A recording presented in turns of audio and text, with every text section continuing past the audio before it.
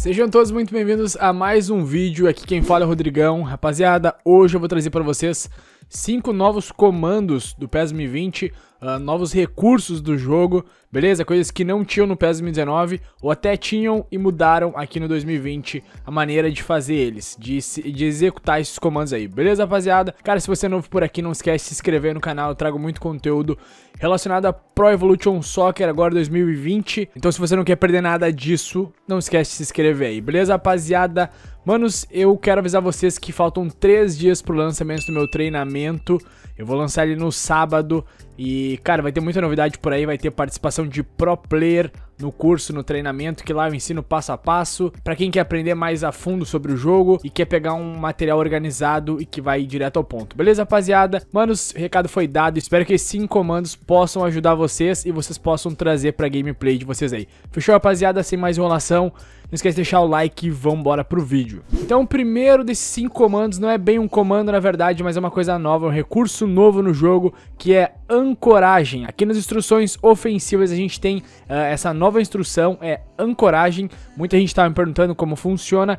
Galera, é bem simples na verdade. É o seguinte, rapaziada, cada vez que vocês usarem essa opção ancoragem em algum jogador de vocês, ele vai ficar mais posicionado aqui ali naquela zona que vocês colocaram ele. Por exemplo, se vocês usarem no atacante, ele vai ficar fazendo pivô ali na frente da área. Não necessariamente ele vai ficar de costas, né, pro gol, mas ele vai ficar mais naquela zona do campo para receber a bola. Ele não vai cair para os lados do campo, nos flancos, uh, para receber uma bola dos lados. Não, ele vai ficar mais centralizado. Caso vocês usem em um ponta direita do time de vocês, ele vai ficar mais aberto lá do campo e não vai fazer tanta infiltração pro meio. E assim funciona em cada posição. Vocês podem usar no meio de ligação, caso vocês queiram. Então o jogador vai ficar mais naquele setor do campo, mais posicionado naquele setor do campo.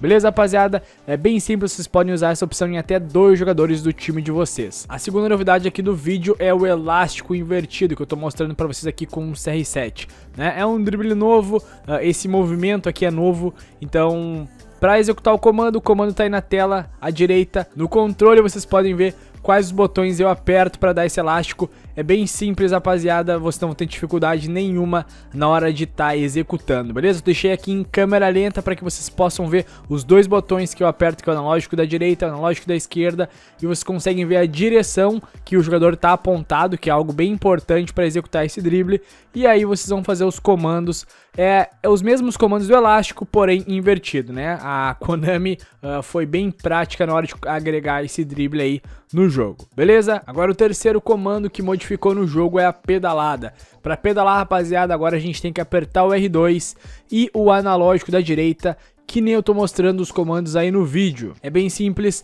não tem uh, dificuldade nenhuma. Para quem já usava no PES 2019, agora só tem que apertar o R2, que é uma coisa que que é uma novidade aí, uma parada que mudou. É bem simples, mas muita gente tá com dificuldade na hora de executar esse comando aí, beleza? Agora, o quarto comando do vídeo é um passe fake, rapaziada. Como é que funciona isso? É um chute fake, na verdade.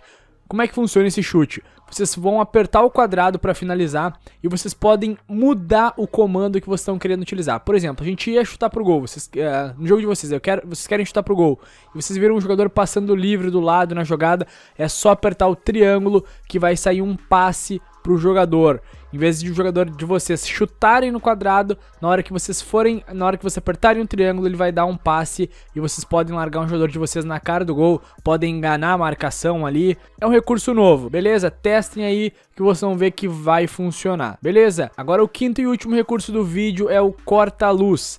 Para quem não sabe, para dar o corta-luz é só apertar o R2. Antes no PES 2019 era vocês tinham que apertar o botão de corrida, que é o R1. Para quem joga no Xbox seria o RB e agora, rapaziada, tem que apertar o R2. O comando tá aí na tela para vocês. Ou para quem joga no Xbox é o RT, que o jogador de vocês vai deixar a bola passar, vocês vão pegar ela do outro lado. Bom, rapaziada, eu passei aqui 5 comandos novos ou que mudaram o, a forma de utilizar eles dentro do jogo. Também tem um comando novo bem bacana que eu não trouxe aqui no vídeo, que é uma maneira de dar caneta no teu adversário. Eu vou mostrar aqui pra vocês, só vou trazer esses comandos em vídeo se a gente bater uma meta aí de 2.500 likes. E aí eu trago um vídeo com 5 novos recursos do PES 2020 que eu não falei aqui ainda e mais esse recurso de como dar caneta no adversário de vocês, pelo menos fazer os comandos para que saiam esse drible, beleza, rapaziada? Então, tá na mão de vocês aí. Então, vamos bater esses 2.500 likes que eu vou entender que vocês curtiram esse tipo de vídeo e a gente traz esse novo conteúdo aí pra vocês, beleza, rapaziada? Muito obrigado pra quem assistiu o vídeo até o final. Tamo junto, até a próxima e valeu!